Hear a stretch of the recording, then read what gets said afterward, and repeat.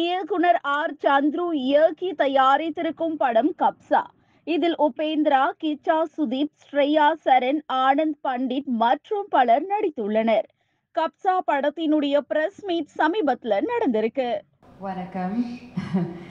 Chennai is always very special to me I have beautiful memories in Chennai Tamil cinema is given me so much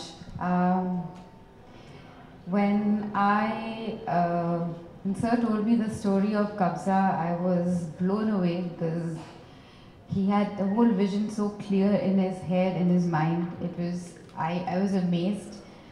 But uh, at that point, um, Radha was really, really young, and I was shooting non-stop. And I said, "Sir, you know, uh, I haven't announced, but I have a daughter, and uh, you should know this." And so he said, "That's that's wonderful because you have a daughter. That's great. Uh, you should bring her on set." Um, and he was always very supportive. Him, his family, uh, Yamma ma'am, his wife, they were very, very supportive about um, about me uh, being part of the film. While we were shooting for the song, it was really tough because I had a really bad sinus attack. I was really unwell, if you remember. It was really hard, and then the dust and the whole set. Uh, but it's so beautifully shot by AJ, who's the cameraman, and my entire team.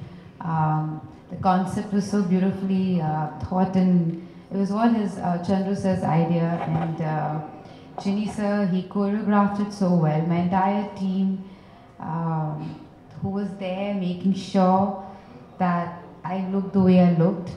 Um, at the same time, you know, it was like Radha was really young. She was not even one, and I was I was at work. It was um, it was hard, but I am so happy that I'm part of this film. And today, I, I know for a fact that one day Radha will watch this film and she'll feel proud of the film.